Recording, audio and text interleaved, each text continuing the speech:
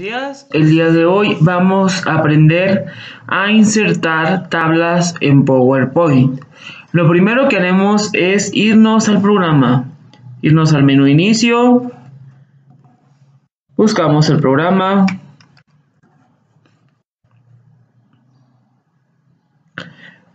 Eh, cuando nosotros insertamos, en esta ocasión nosotros insertaremos una tabla, no importa si lo hacen desde una presentación en blanco o desde una presentación con plantilla. Yo en este caso elegiré la presentación con plantilla.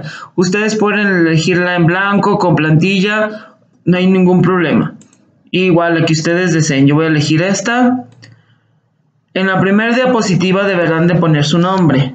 El, nombre, perdón, el nombre del eh, trabajo que es insertar tablas.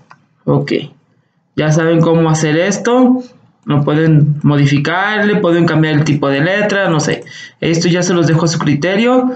Y yo voy a insertar tablas. Después, como subtítulo, le van a poner sus datos.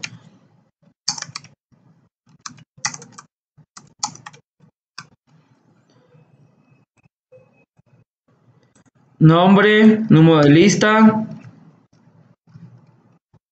y salón. Yo en este caso voy a poner dignidad, ya, o sea, o, prudencia, el, salón que ustedes sean. Muy bien, una vez que, inicie, que inserten sus datos, se van a ir a nueva diapositiva. Vamos a elegir diapositiva en blanco, ¿sale?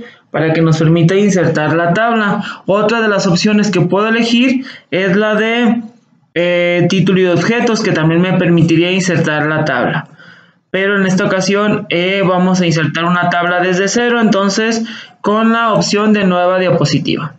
Para insertar una tabla nos deberemos de ir al menú insertar.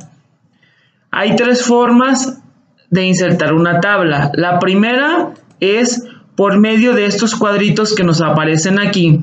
Los cuadritos hacia la derecha son las columnas y hacia abajo son las filas.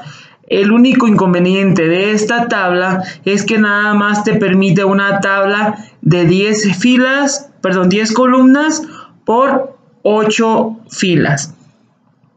En esta ocasión insertaremos una tabla de 3 columnas y 8 filas. En la primera columna van a poner nombre.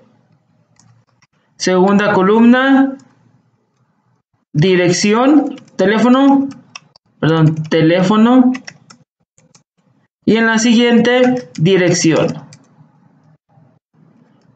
Y van a llenarla con sus datos, con los que ustedes deseen. Pueden copiarme a mí o pueden hacer la tabla con los datos que ustedes quieran. La tienen con los datos. Eh, quiero eh, explicarles que nosotros podemos hacer que nuestra tabla se vea eh, con un aspecto muy diferente. Porque, si se fijan, el tipo de tabla que me insertó, pues es algo muy sencillo, los colores muy tenues, a lo mejor a mí me gustan los colores más llamativos o no sé. Para yo poder eh, seleccionar la tabla completa, basta con que me posicione en cualquiera de las eh, en cualquiera de las eh, orillas de mi tabla y única, una vez que ya esté ahí, yo selecciono toda mi tabla. Cuando yo tengo mi tabla seleccionada, aquí en, la, en el menú me va a aparecer menú diseño. En este menú diseño, en donde dice estilos de tablas, aquí estilos de tablas, me aparecen diferentes estilos que ya vienen predefinidos. Yo voy a elegir uno, voy a elegir este. ¿Sale? Ustedes pueden elegir el que ustedes quieran. Dependiendo eh, de la plantilla que ustedes hayan agarrado, les van a aparecer diferentes colores. Y yo en este caso voy a elegir este, bueno, el amarillo. Muy bien. Ahora, lo que yo quiero explicarles son los efectos de texto. Los efectos de texto, ¿para qué me van a servir?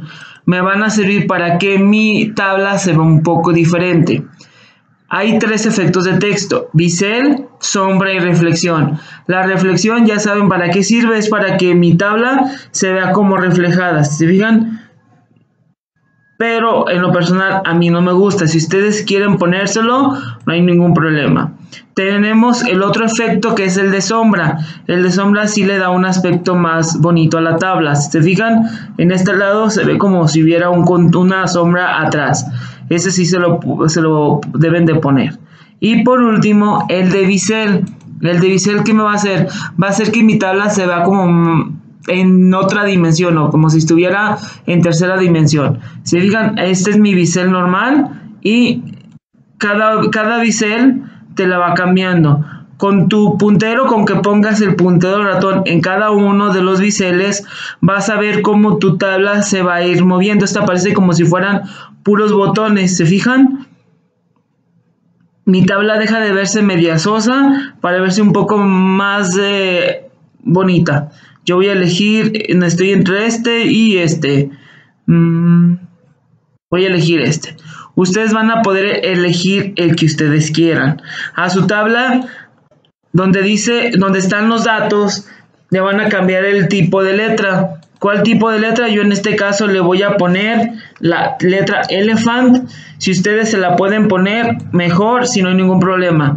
Y le cambian el tamaño a un tamaño 24 donde están los datos, le van a seleccionar y le van a poner una letra Arial Black.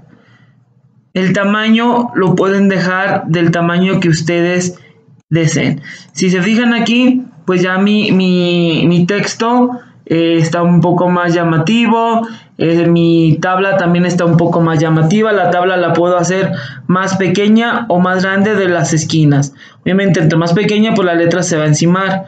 Entonces, ustedes elijan el, el diseño que ustedes quieran. Bueno, más bien el tamaño de la letra y qué tan grande o qué tan pequeña quieren su tabla.